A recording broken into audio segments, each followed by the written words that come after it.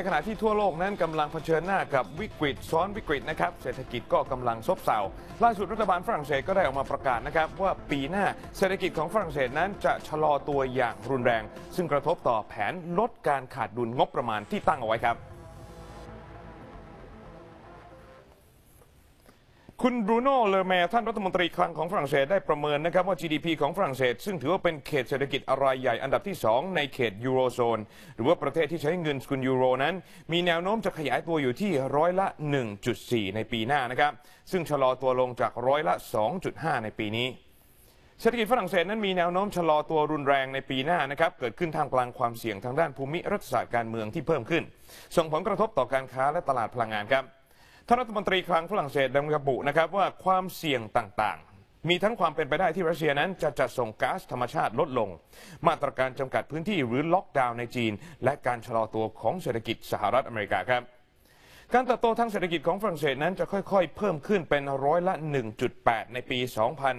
2570 เนื่องจากการปฏิรูปตามแผนการที่วางไว้ ตั้งแต่เรื่องระบบบำนาญไปจนถึงการประกันการว่างงานนะครับ ในขณะที่ผลจากการชะลอตัวทางเศรษฐกิจในปีหน้าจะส่งผลให้การขาดดุลงบประมาณของภาครัฐ ไม่เปลี่ยนแปลงจากปีนี้ คือคงอยู่ที่ร้อยละ5ของ GDP หลังจากนั้นจะค่อยๆ ลดลงจนอยู่ภายใต้เกณฑ์ของสหภาพยุโรป ที่กำหนดไว้ไม่ให้เกินร้อยละ3ภายในปี 2570 นะครับ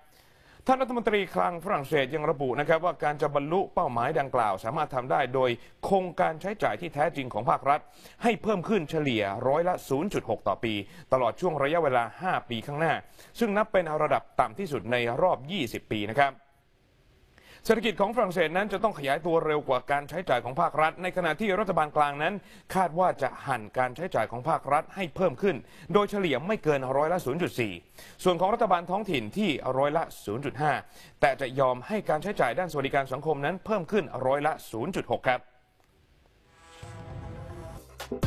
ขอบคุณทุกท่านที่ติดตามรับชมรายการย่อโลกเศรษฐกิจกับผม ป๊อบนัทพงศ์นำเสกุลนะครับ อย่าลืมกดไลค์ กดแชร์ กด subscribe และกดสั่นกระดิ่งด้วยนะครับ เพื่อท่านจะได้ไม่พลาดรับชมติดตามข้อมูลข่าวสาร และคลิปวิดีโอดีๆ ก่อนใครที่นี่ที่เดียว TNN ช่อง 16 ครับ